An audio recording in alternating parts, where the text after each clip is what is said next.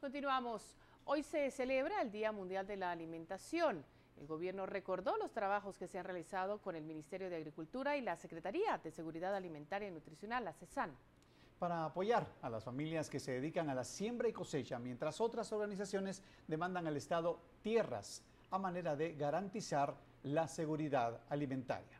Diego Recalde, representante de la FAO en Guatemala, indicó que en el mundo 805 millones de personas están escasos de alimento y Guatemala no se separa de eso.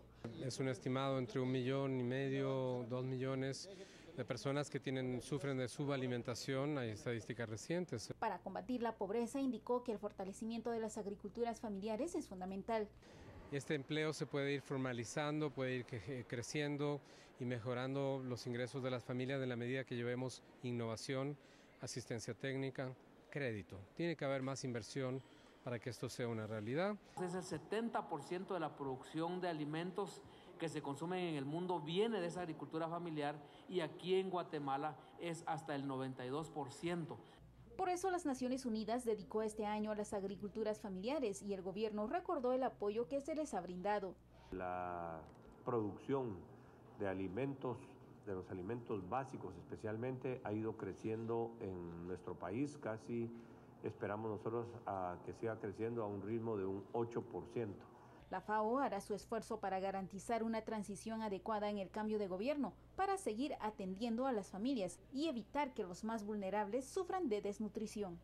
La celebración se dio en el Palacio de la Cultura, mientras enfrente, en la Plaza Central, grupos de mujeres rurales y movimientos sociales señalaron que aunque solo el 2% tienen acceso a la tierra, son los mayores productores de los alimentos, por lo que demandan tierras a manera de garantizar la seguridad alimentaria y definir políticas agrícolas a cambio de políticas asistencialistas.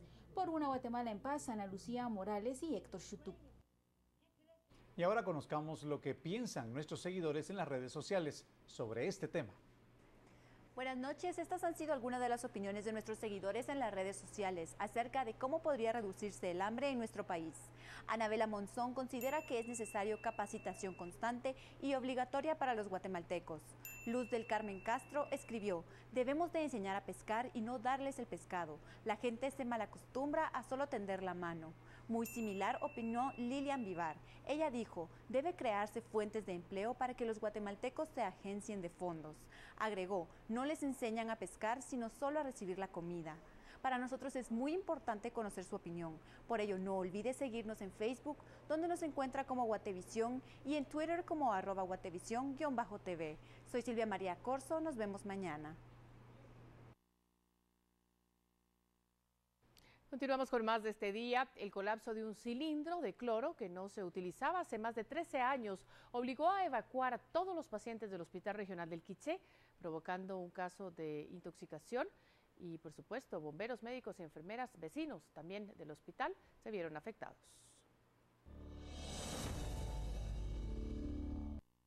Las alarmas se encendieron a las 10 de la mañana cuando se empezó a percibir en el ambiente el fuerte olor a cloro.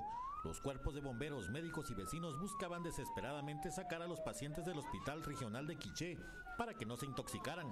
Fue una fuga el cual eh, súbitamente pues, eh, se percibió en todo el hospital, se tuvo que implementar las medidas de, evacuación, de coordinación con todas las, eh, las áreas de la, área de salud. Los bomberos rompieron ventanas del hospital para retirar a los pacientes. Uno de ellos se encontraba en mitad de una operación cuando se dio la emergencia. Hay tres doctores operando y una doctora es la que está ahí todavía. Este gas que usted ve es, es muy tóxico, ¿usted lo siente? Ay, sí, se siente horrible, sí pensamos que íbamos a aguantar, nos encerramos y encendimos todo el oxígeno, pero no aguantamos.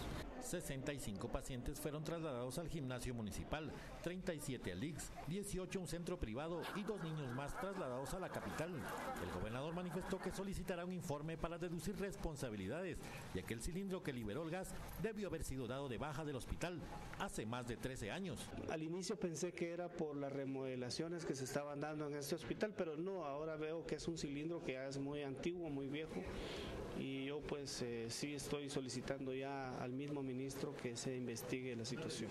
Los pacientes regresarán al hospital después de una evaluación de las instalaciones. Una Guatemala en paz, Hugo Toledo y Héctor Cordero.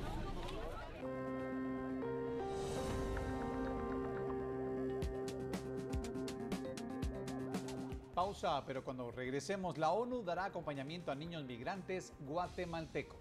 Tenemos la información, tenemos números, tenemos mucho más al regresar.